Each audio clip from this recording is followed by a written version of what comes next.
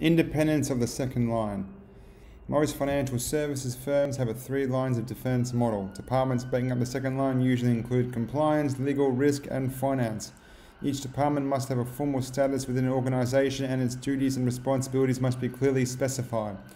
The second line must be fully independent from the business line and have the authority to act. They must not operate in silos and must collaborate to defend the organization.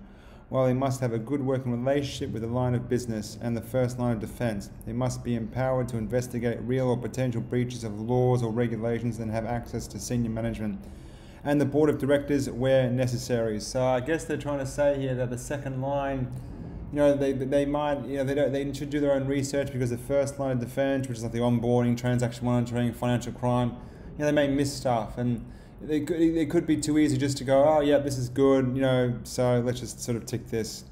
In order to identify and mitigate risks to an organization, it is important that the three lines of defense have a good working relationship to ensure their independence, the roles and responsibilities of the second line of defense functions must be clearly documented.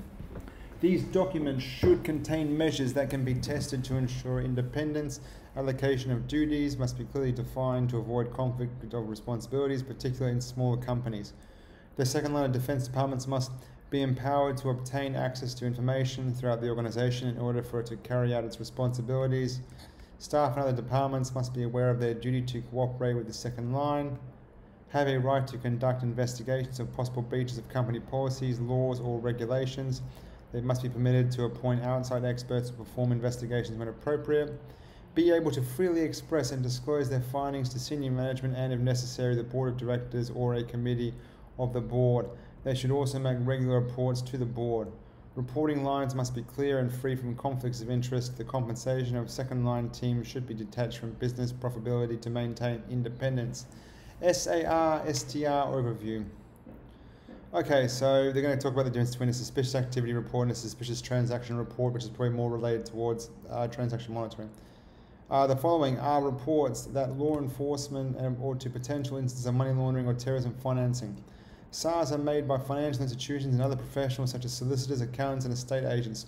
They are a vital source of intelligence that would otherwise not be visible to law enforcement. SARS intelligence is instrumental in locating criminals. Some SARs provide immediate opportunities to stop crime and arrest offenders. Others help uncover potential criminality that needs to be investigated, while others provide intelligence that is, that is useful.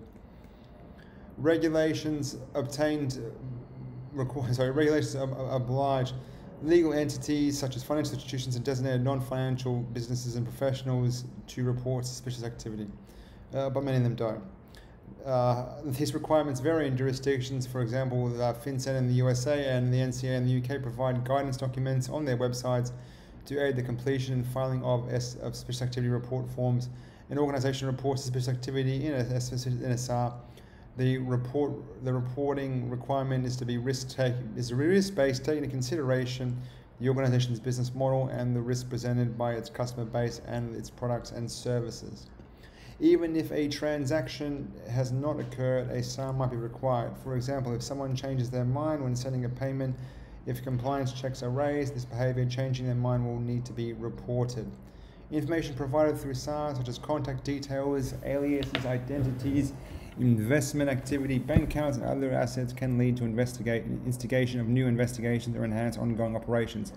SARS can help identify changes in the nature or prevalence of types of organized crime, such as mortgage and boiler room frauds, which you don't really see much these days.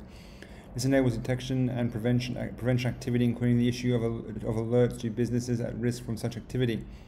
Regulations related to SAR STR the regulations for filing a suspicious activity report or a suspicious transaction report vary by institution and jurisdiction, but there are common regulations throughout that call for investigators to follow timelines and limit information access. A SAR filing must be timely and effective as soon as the alert is generated. The investigation can start.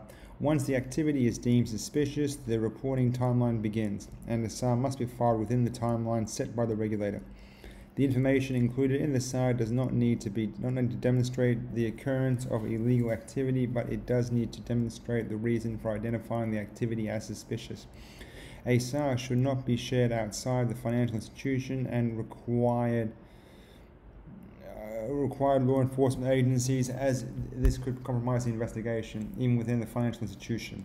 SARS should be handled with care and even within should be handled with care and not should have access. No one, not everyone should have access to that information.